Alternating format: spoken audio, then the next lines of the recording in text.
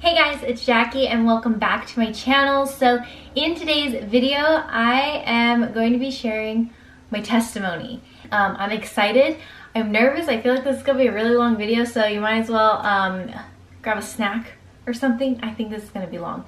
Um, okay, I'm nervous. So I feel like before I actually share like everything that happened and how I came to find Christ, I, I feel like I need to share background first. Um, that only makes sense. So let's start with how I was kind of raised. I was not raised in a Christian home. My family and I were, we didn't grow up um, very religious or anything like that. My mom is Catholic, but she goes to church sometimes, not all the time. And so I, I honestly, I feel like together as a family, we probably have gone to church maybe four times in our whole lives. So we didn't grow up going to church. We didn't grow up studying the Bible. I, I never heard the story of Jesus. I didn't know who Jesus was, but as a young kid, I always felt like, sure, there, there could be a God. Like, yeah, sure, God is real. But I never had proof. I never, like, I was never truly convinced, I guess, but I was just like, sure, there, there could be a God. And again, had no idea who Jesus was, um, never heard the story of him growing up. Also, side note, I don't know if this really plays in part, but just as more like background as how I grew up. Yes, I do have an Asian background, but we were brought up very American, a very American military family that was not religious. That basically sums up how we were raised. Now, moving on to like what actually led up to me becoming a Christian, I guess you could say, or just not, I don't really like labels, but not even just a Christian, but a believer, a true believer. What led up to that? And I will be saying a bunch of names in this video, and I, at first I wasn't going to, but then I realized these people played an important role into what led me to be who I am today, and I'm so grateful for that, and um, I'll, I'll never forget these people. Um, because of, because of the role that they played into who I am today. Okay, let's start with uh, my friend Karis. So I first came, you guys know her as Charisma Star TV. Um, I first came across her videos back in 2012, maybe even 2011. But I remember I was about to film a Snow White makeup tutorial video and I wanted to get different ideas on how people filmed and things like that because I was really trying to do something creative. And so I searched up Snow White makeup tutorial ideas to get some inspiration and I saw her video. That was the first video I saw of hers. And I ended up not even doing a Snow White makeup tutorial video as you guys can see on my channel. I never ended up doing it because I saw her video and I was blown away. I was like, oh my gosh, the production of this, the theatrics, like this is amazing. I don't, I don't even want to do my idea anymore. but anyways, that is how I found her channel and I just became obsessed instantly. So I was watching a bunch of her videos and you could tell from like a handful of videos, you can see that this girl, um, she is religious, if you want to call that. She studies the Bible or she knows the Bible and she believes in God and she's not afraid for people to know that. And I was like, that's, that's pretty cool. I still had that same mindset, like, sure, there's a God, like, sure.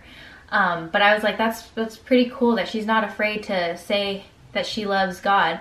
And at this same time, I was um, very close friends with um, James and Tati Westbrook. Oh, they weren't married at the time, but I was um, friends with Tati and James. I was a part of Tati's proposal video and I met them through April Athena 7. I'm sure you guys know her. We you guys have seen in the vlogs. Like we used to be very very close all of us and so that was like my little YouTube group of friends. I think I actually met Tati and James from April and Jessica. Jessica is the only one, you guys know Jessica, she's the only one that I've actually stayed in touch with um, out of like every YouTube friend I've made, Jessica's the one that I've stuck close to this whole time. But um, anyways, I'm I digress. So it was back in 2012 and James James and Tati were my friends and James had reached out to me about this idea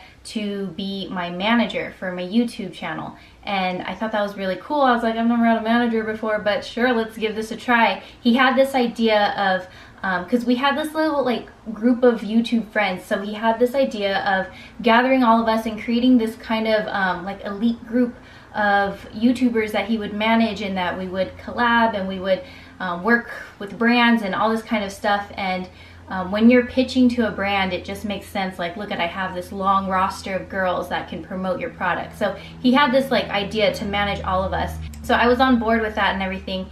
And then he's like, oh, do you have any other YouTube people that you know that um, you'd like a part of this group? Who is your friend or who do you really like that you want to um, be in this close group with? And I was like, oh my gosh, Karis from Charisma Star TV. I haven't met her, but I love her videos and I love what she stands for. I think she'd be so awesome in this group. So that's when I first reached out to Karis and um, connected with her. So I connected them together. Long story short, we were all part of this group and I became friends with Karis and she became friends with Tati and James as well. There's a reason I bring these people up because they really did play a huge role. So just bear with me. I, this story is going to get long. So it was IMATS in 2012 when we all connected and met up and that was the year that Karis won the very first NYX Face Awards um, contest and that was so awesome.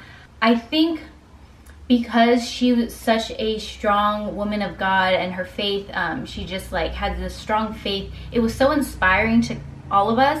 I remember after IMATS, everyone kind of went off and did their own thing and I was just gonna go home. But Tati and James were like, hey, Jackie, do you wanna go check out church with us? Like there's this church we go to um, nearby and they're gonna have service later tonight. So do you wanna go with us?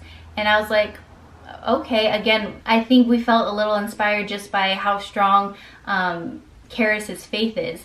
And I was like, okay, sure, I'll, I'll check it out.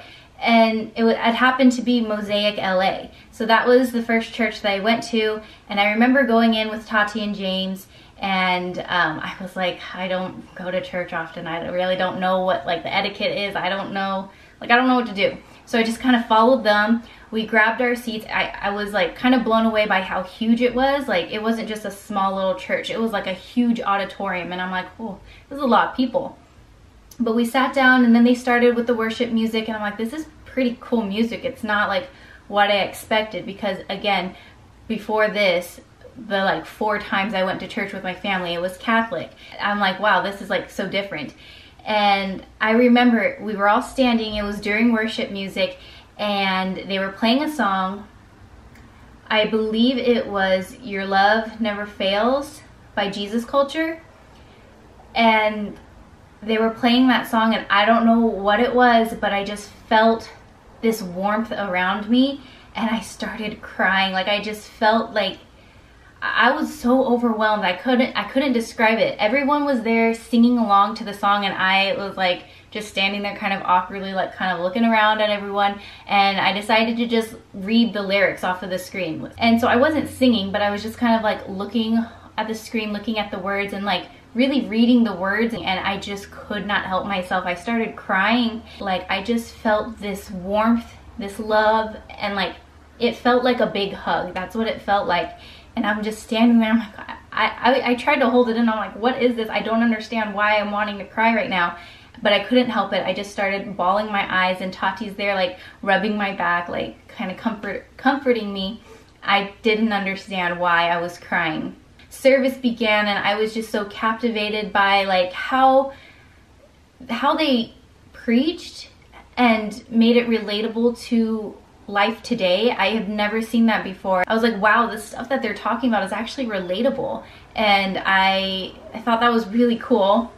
And I remember afterwards, I told Tati and James like, like, wow, that was such an incredible experience. I can't even, I can't even put to words how like moving that was for me. Like that was amazing. And I went home feeling so great that night. I was like, that was awesome. Church is awesome. I remember driving home that night and um, so I was driving home from LA to San Diego and as I passed Disneyland, this is silly, but as I passed Disneyland, it was like the perfect timing. The fireworks were going off and it was the most beautiful thing ever. And I remember as soon as I got home, I texted James. I was like, oh my gosh, when I was driving home, the fireworks went off as soon as I drove by Disneyland and it was just so magical and I felt like that was just like the best conclusion to this day. I felt like that was a sign from God, like like what a day to celebrate basically. And I remember that James texted me that he actually looked into it and there's a mosaic in San Diego. And I was like, oh my gosh, like this is a sign from God, like I have to go here. And so that's when I started attending Mosaic San Diego and they were at the time located in North Park area. Um, they were just renting out this, it was very small, com especially compared to like I went to Mosaic LA. That was like a huge auditorium with like hundreds of people. But Mosaic San Diego, it was really small. There had to be like maybe 20, 30 people at the most. It was a very small group in a small little room that they rented um, in North Park. I felt like it was a sign that I needed to be there. And so I continued going. When I started going to Mosaic, that's when things started getting really, really rocky with me and Johnny. Um, I didn't understand it, and even Johnny, if you ask him now, he doesn't really understand it either. But at the time when I started going to church, I started listening to Christian music. Johnny didn't understand and he saw this switch in me and we started fighting a lot because of it. He's like, "This is not you." Like and he he comes from a very religious family. So Johnny's like, "This isn't you. Like you're acting like everyone else in my family. Like what is this?" And I remember we would fight all the time about it and we almost broke up a handful of times and we would just be sitting in the car crying, talking about how this isn't gonna work. And I told him like, I, I feel so strongly that I need to keep going to church. Like I need to keep going. And I was willing to leave that relationship completely to pursue a relationship with Christ. So it was like a whole thing and that lasted a, quite a long time. And I remember talking you know, sharing these thoughts and like my relationship's not going to last. I would share that with Karis and Tati and even Jessica and April too. Like we were all such a close group and I would share everything with them. And eventually Johnny and I overcame that hurdle. I'm still gonna go to church, but I'm going to try and keep that separate from my relationship with Johnny. Like keep church and keep Johnny separate, not bring it up together, um, not try and blend the two. And so I continued going to Mosaic and I I was loving the worship music. That was always my favorite and I was loving the word and just hearing more. I didn't have my own Bible yet, um, or maybe I did, but I didn't actually like read it or go through it.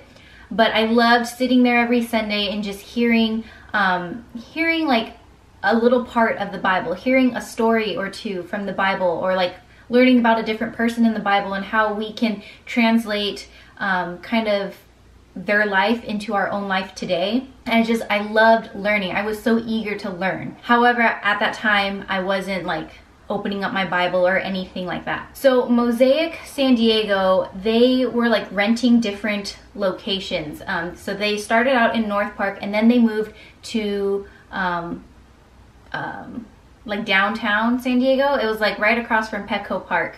So they had um, a a building there that they were renting and I was continuing to go there um, and then they moved again it was still like downtown but it was kind of like in this scary little alley and I went to one or two services there but it really scared me like the location of it scared me and so I eventually stopped going um, it was not only the location that kept changing but it was also the fact that I was going consistently for over a year and I could not make any friends. I would introduce myself to the same people over and over again. And now that I think about it, I, I realize that everything happens for a reason and God wanted me to find the church that I'm at now. So it's I have nothing against the people at Mosaic. I actually saw the pastor um, just a few weeks ago and I was like, hey, I used to go to your church. I love what you guys do. So I have nothing against them. I really feel like that was all part of, you know, this story to lead me to where I am today. But um, I couldn't make any friendships. I would introduce myself to the same people over and over again, but I couldn't, I wasn't memorable to anybody. I would show up, I would sit in the back, and as soon as service was over, I would leave and go back home. And so that's kind of like how it was for me for the first year. And then once they moved to kind of the sketchy part of downtown, um, I didn't want to go anymore. And I was like, it was an easy decision for me because I, I didn't have connection. So at this point, my mindset is completely different from when I was a kid. Now I'm like, yes, there is a God and Jesus loves me. Jesus is God's son and he came and died for us and he loves me and I know this now. And I felt his love, so I know that it's real. So I guess you can say I, I became a believer of Christ in 2012, so seven years ago. That's when I became a believer. So then in 2013, 2014, I moved to Anaheim. I moved to Orange County and I moved up there to help my sister transition into her first year of college. I worked from home, so I was like, you know what? I can do my work anywhere. So why not use this opportunity and take advantage of it and go move to Orange County with my sister. While I was there, I found that there was a mosaic in Pomona and that's like just not that far from Anaheim. So I was like, oh my gosh, like this is a sign I'm supposed to still go to church. I'm supposed to go to Mosaic. And so I went to Pomona and I went two, maybe two times. I don't, I don't know. I didn't go much. I went like maybe once or twice and I just like, I don't know what it was. I just felt really scared to continue to go to a church and not be remembered. I don't, it, I don't know why that, that scared me so much. So I, I just didn't even want to try to go anymore and I just, I didn't go back. I think it was 2015 that I moved maybe, maybe 2015, that I moved back to San Diego and I wasn't going to a church, but I would still listen to uh, worship music. I still believed God was real. I felt his love and Jesus loves me. And at this time, um, I had already kind of lost in touch with um, Tati and James. We were no longer talking anymore. Um, Karis, you know, we just got so busy that we don't talk often anymore. We used to Skype all the time, like our whole little group, but that kind of died off. Um, I want to say before I moved up to Orange County, that kind of all fizzled out. Or maybe as I moved to Orange County, that's when it kind of slowly started to die out. So I, I kind of was alone in this journey. Couldn't talk about it with Johnny. Didn't have any other friends that I could talk to um, about, you know, going to church and what I believed in and all that kind of stuff. But it was 2015 when I moved back to San Diego where I found myself sliding into a very, very deep depression. And um, I didn't really talk about it with anybody other than Johnny. I, I couldn't explain like why I was feeling this way. Like, why are you depressed? Why are you feeling this? I didn't know. I don't understand why I felt the way I felt, but it was getting so, so bad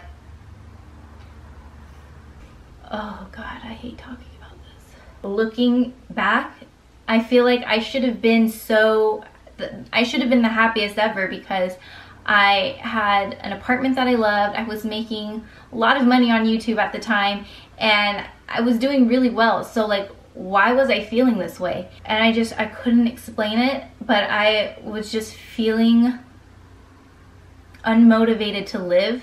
I would dread waking up in the morning. I didn't want to get out of bed. I felt so heavy that I just couldn't do anything. I couldn't move. I couldn't have a productive day. I would lock myself in my apartment and keep all the blinds closed and just kind of be there. I didn't know how to get myself out of this rut. Um, I just felt so worthless. I felt um, I felt so invisible and I felt like I just felt like what's the point like why am I here I don't I don't understand why why I'm here why I have to feel this way I I became numb and this lasted the whole year I I would look in the mirror and I wouldn't recognize who's there I would sit on my counter in my apartment and on my bathroom counter and just stare at myself in the mirror, not out of narcissism or being conceited. I would stare at myself because I had no idea who that was in my reflection. I did not recognize that girl and I would look at my features and it just, it read to me as nothing. There was nothing there. And um, God, my throat is so tight right now. I don't like talking about this because I don't ever want to share and open up and have it trigger something in somebody else. But I um, I started to cut myself and um, a few people even pointed it out in comments before, but I would say, oh, it was my guinea pigs that scratched me. Or um, I would cover it up with lots of bracelets. Or I would wear cardigans that were long. I had a special knife in my kitchen that was just to cut myself with. And um,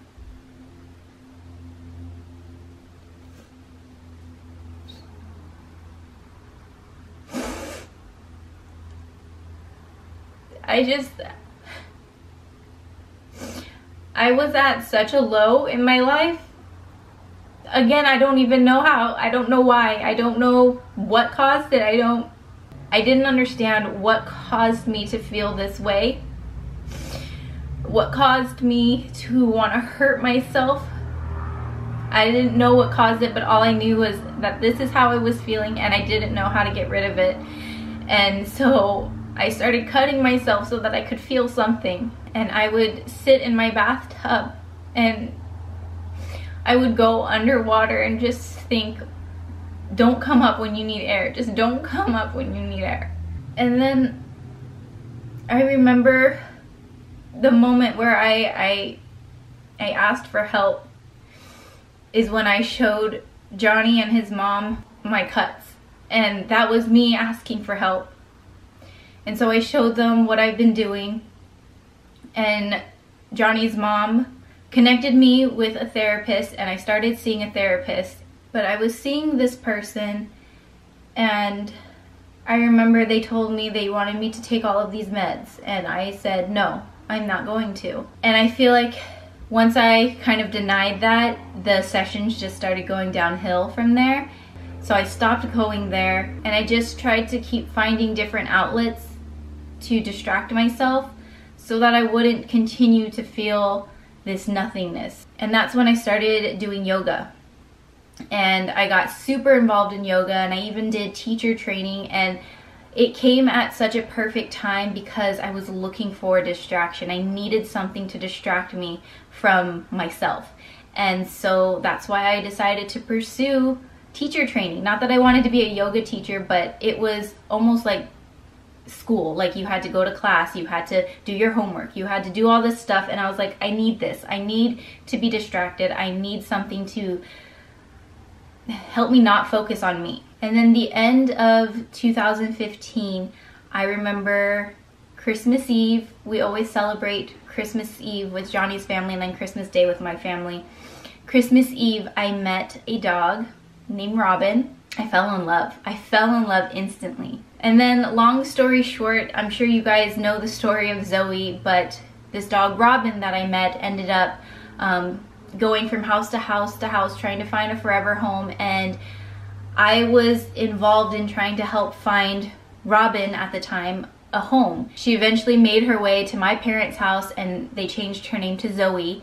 I was so invested in trying to find Zoe a home because there was something about her that just captivated me and when it didn't work out with my family, um, Johnny's family was like, okay, there's a family in TJ that will take her. And I just lost it. I was like, I can't lose her. I need her in my life. And so I decided to adopt her. That's when everything changed. I remember it would be late at night. Johnny was already asleep. Oh, I forgot to mention, Johnny had moved in with me when he when he saw what I was doing to myself. That's the reason he moved in with me. I hate admitting that, but it's the truth. He moved in because of how depressed I was. Because he thought he if, if he's there, I wouldn't do anything. But it would be late at night and I would sit by my kitchen with my knife and I would sit there one Zoe! It's okay mama. And I would be sitting there by the kitchen wanting to cut myself some more. And then I would look over at Zoe. Sometimes she'd be looking at me sometimes she'd just be sleeping but I would look over at her and I couldn't do it. I wanted to so badly. Like, and it's the weirdest thing to crave that, but I did. I wanted to hurt myself. I wanted to cut myself so badly. I couldn't do it because I knew I knew that she needed me. She needed me to be alive. And I know that sounds silly, it's just a dog, but I really believe that God sent Zoe to me to save me. And Zoe honestly has played such a huge role into leading me closer to Christ. And so I remember just feeling a mix of like sick to my stomach, but also just so much love because she saved me from me. And it made me feel sick because I was battling these things in my head. God knew that I needed something. And He sent exactly what He knew would speak to me. And it was Zoe. So it wasn't long after I adopted Zoe that the break in happened. my stomach hurts. It was one of the worst nights of my life and it hurts my stomach every time I talk about it and because it's so easy for me to quickly share the story because people on the daily as we're walking Zoe they're they ask like what happened? And so I always it's like kind of on repeat like oh there was a break-in at the house and this happened and then we found her two months later and now she's paralyzed from the waist down. We don't know what happened. Um, yada yada yada. Like I, I share the story all the time but to sit here and actually like walk you through and like relive the moments it hurts my stomach. I was so crushed, scared, so devastated that she was missing, Coco and Zoe. Although I was heartbroken and devastated, I knew that we were going to find them and I knew that we were going to get them back. I felt it in my heart. And then two months after the break-in happened, that's when we finally got a real lead on Zoe. We were searching this whole time, right? But it wasn't until two months after where we got a real legit lead. And so we went down to the canyon where she was spotted and we did this big search and rescue thing. And we got Zoe back um, and it was right before Christmas. And without a doubt in my mind, I knew that it was a God moment. I knew like, I knew, I knew we were gonna get her back. I knew it. I know this story is like kind of a lot of different stories compiled into one, but it's because all these things really made it an impact onto what led me to where I am today.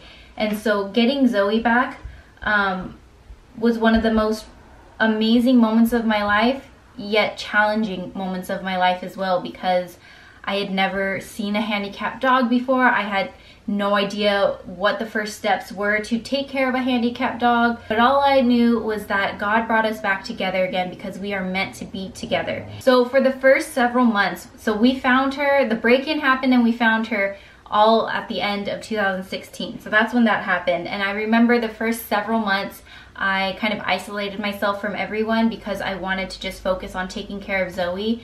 And once we got into this routine, I remember it was May, it was actually my birthday. It was May 7th, 2017. Um, it was my birthday and I remember Johnny's uncle, he's a pastor of a church and it was their first service in their new church. So it was like a big deal and he invited all the family to come and he's like, come celebrate our first service in our new church. And I I went only to support Johnny's aunt and uncle, the pastors. I Johnny didn't even go with me. He was working. So I went by myself. Um, only to support them. I wasn't planning to like, I'm gonna become a member of this church. I'm gonna keep going because the church was really far from where I lived. And so I was like, I'm only gonna go this one time just to support them. So, and it was my birthday and I wanted to get out of the house and do something because I had zero plans and I had I hadn't been out in a long time because of Zoe. So I went to the church and I just felt something completely different. Like I remember there were a handful of times I got emotional during the service, but I, I wasn't sitting there bawling my eyes out and falling to my knees or anything like that, but I just felt a connection. And I think it's because I, I personally knew a handful of people that were part of the church already, so it was familiar. But I just, even the people that I met that first day, I felt love. I felt community just after my first day, and I was like, whoa, is this how church is supposed to be? Because I never felt this at any other church. Like, this is family. This is a family. And I continued going. By going to this church, it reignited this fire within me that I had several years back to want to learn more and know who God is and what what his love is all about, know more of who he is. And I have to tell you the fire was so hot under my butt. I could not get enough. I started attending youth groups. I started actually reading the Bible that I had. It was my small little pocket Bible. I know I've showed you guys before. I actually started reading it and I was I was just so moved and so captivated and just also the connection with other people there and like the other youth members and talking with them and just hearing their desire for Christ. I I was so inspired. I was so moved. I quickly became a part of the church and joined the tech ministry, and I was working behind the scenes at the church. And then um, shortly after that, I became one of the youth leaders. And, you know, I'm still all new to this, but I think people could see that the desire in me was strong. Like, I wanted to know more of who our creator was, I wanted to know more of the love that God has for us. And so I just, I continue to study, I continue to be involved as much as possible. So now that leads me to where I am today. I am still attending New Hope Church. It is my home, it is family. I love everybody so much there and they have every everybody there has played such a huge role in to helping me mature in my in my salvation in Christ, helping me to establish a true relationship with God. So now my mindset is yes, there is a God, and Jesus is the Son of God that came to earth to die on the cross for our salvation, for our sins, so that we can be redeemed. I serve a God that works in mysterious ways, that speaks to us in our own individual language, in our own individual way, and he had spoke to me so many times, but so strongly through Zoe. So I know that this video was long, but just to kind of recap on the, the major the major events that led me to Christ was my friendship with Karis, Tati and James bringing me to Mosaic Church where I felt God's love and presence in my life for the very first time meeting and adopting Zoe and having her show me that life is worth living. Zoe's rescue after she went missing and going to New Hope Church and finding that community and that that spiritual family that I needed so badly. If you take away any of those events that happened in my life, I don't think I would have the same desire that I have to want to know Jesus. I think I would still be cruising along in this life thinking, yeah, there is a God.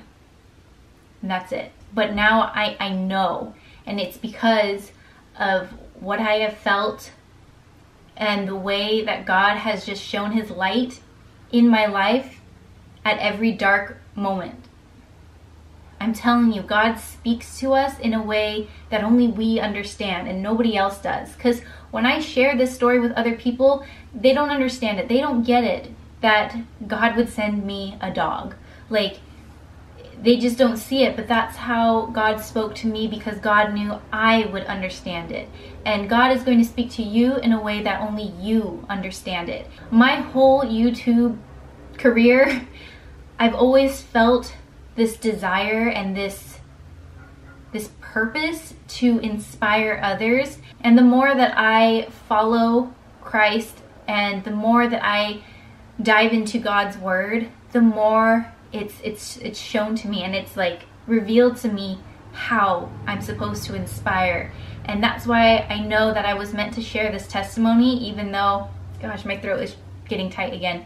Even though it's painful for me to talk about some of the things that um, I've gone through, but I know that I'm meant to inspire and share my testimony and share my story with others, to share and encourage that life is worth living. The world that we live in is so scary and so polluted with evil. But I know even in the midst of that, whether you want to believe it or not, in the midst of all this scary, chaotic evil and sin, I know that there is a God that is watching out for us. There is a God that is providing for us and the more that you are aware of Him and the more that you pursue Him, the easier it is for you to hear Him speaking to you and to see Him moving in your life. I can say this now, but back then, 2015, Jackie, I would laugh at you if you told me that God was providing for me. I would laugh at you if you told me that God was taking care of me. Because why would a God that loves me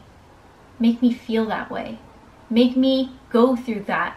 But I know now that through our suffering, Christ is revealed. And so that is it for my testimony. Oh my gosh, I almost ended this video without even, oh my gosh.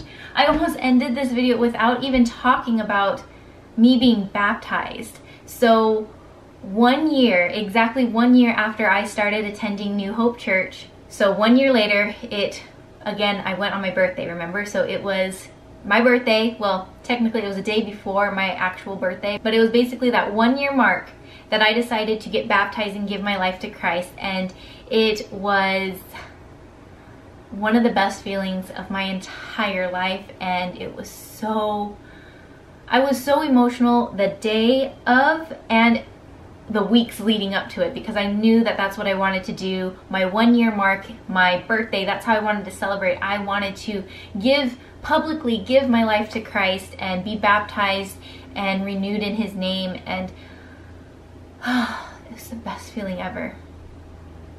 I feel like I could make a whole separate video about that, but how could I share my testimony and not even talk about all of this led up to me being baptized? I feel like there is there's a lot of moving pieces within this story, but seriously, all of it is what shaped me to be who I am today. And I just want to say thank you guys for watching this full video. If you watched till the end, like wow, thank you. Um, and just thank you for being a part of this journey. Um, I love you guys so much and, and if you have any requests for any other faith related videos you'd like to see here on this channel, please let me know because I would be more than happy to create that kind of content for you guys. I love you so much and I will see you guys in the next video.